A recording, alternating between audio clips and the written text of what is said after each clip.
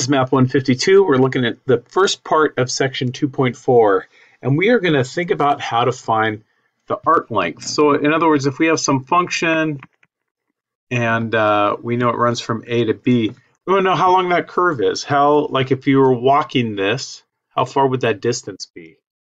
You know, let's start with thinking about what if it was a straight line? What if, uh, what if it was just Look at that, that's perfectly straight. And we have these points, right? Like uh, I start at some x point and I get the y point for it. And I and I go up to some other x, right? I have some and then I get some other y for that. And those are those are my points. I'm gonna rewrite this. Now if I want to know how long this was, just think about the Pythagorean theorem, right? I could say how far over and how far up does it go? I have some change in x, and I have some change in y. And I know that from the Pythagorean theorem, uh, I'll just call this d the, the distance. I know that d squared equals uh, change in x squared plus change in y squared, which means that d is the square root of the change in x squared plus the change in y squared. If it's curved, what I could do is I could do a bunch of little approximations, right? Like I'll make this curve a little more. From here to here, I have I could approximate it that way. From here to here, I could approximate it that way. From here to here, I could approximate it that way.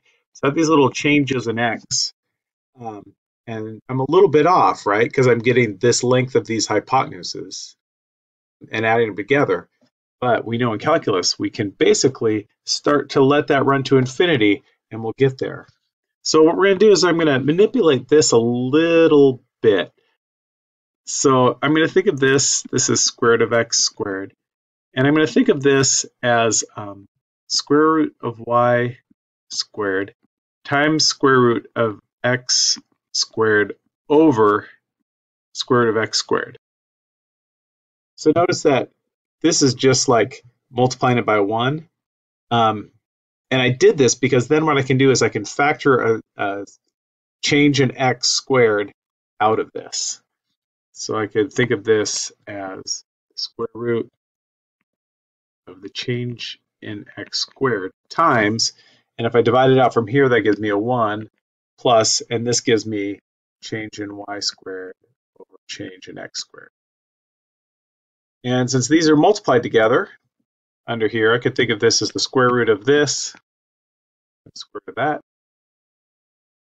And square root of something squared is just that. So now I have square root of x, I'm sorry, not square root, uh, change in x times the square root of 1 plus, and since these are both squared, I could write this as change in y over change in x, that whole thing squared.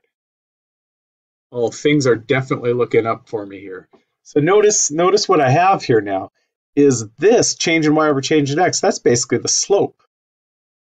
And so each of these, depending on my x value, would give me these lengths, each of these lengths. So if I think about this, I could let this say how many uh, lengths do I want? Oops. And I'm just going to add them all up. And actually, if I think about this change in y over change in x, that's just the slope at that point. So change in y over change in x is really the slope of that function at x, and then it's squared. And again, since this is calculus, let's let that run to infinity. In other words, let these changes in x get really, really small. These get closer and closer and closer. And what happens? This converges to this beautiful and that's how I can find my uh, my arc length. And uh, what's great is I could do it in the x direction. I could also do it in the in the y direction. Like if everything was solved for y. So let's figure out the arc length for this. A curve would look something like this. And it's running from 0 to 1. And I just want to know how long that is. I'm going to need a couple pieces. I'm going to need the derivative, and I'm going to need it squared. And then I can set it up into here. So if there's my function, derivative of this is uh, is that. And so then now if I square that, I square the 3, I get a 9. I square the x to the 1 half, I get x. Okay, so there it is. And so now what I'm going to do is I'm basically going to just plug it into there, run it from 0 to 1. So I should have this integral from 0 to 1 of this 1 plus 9x dx. And so notice what I used was this. I had to take the derivative and then I had to square it to get myself there. All right, and so then now let's figure this out. Let's evaluate this thing. Uh, I'm going to do some u substitution. So I'm going to let u equal 1 plus 9x. So du would equal 9 dx. So uh, a ninth of du give me that dx. And I've got this. Uh, I'm going to change these bounds. So when, when this is a 0, I plug it in for x and this becomes a 1. When this is a 1, I plug it in for x and this becomes a 10. Root of u du, and I've got a 1 ninth of it. So I've got this, so I'm going to take that 1 ninth out, u to the 1 half.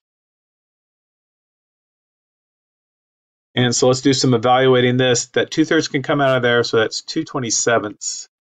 And then I have this u of 3 halves, um, 10 to 1. Now, now you could shove that in your calculator and just get an answer, but we could be a little, little more clever than that. Um, 10 to the 3 halves, that is um, the square root of 10 cubed. And now if I cube something, I'm multiplying it by itself three times. So that's root 10 times root 10 times root 10, which is 10 root 10. So this would be 2 27ths times 10 root 10 minus, and if I plug a 1 in there, it's just a 1. And so there it is. That is the exact value of the length of that.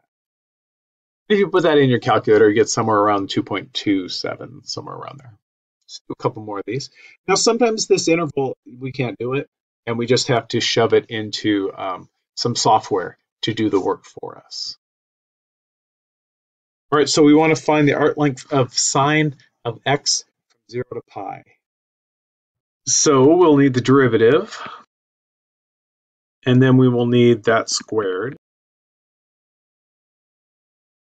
So we're going to run this from 0 to pi of the square root of 1 plus cosine squared x dx. All right, uh, so I think that this is a case where I'm going to just let the software do some work for me. Going to go to this integral calculator right here. And so if you'll notice, uh, notice where I'm at. Uh, from here, I can type in what my equation was, and it will, uh, what my function is that I want to take the integral of. And mine was the square root of uh, 1 plus cosine squared using the caret. And notice it puts the uh, it puts the dx in there for me of x. So notice here's what I typed, here's what I got, and I'm running it from 0 to pi. So 0 to pi. Do magic. And it looks like I get about 3.820. Yeah, that's good enough.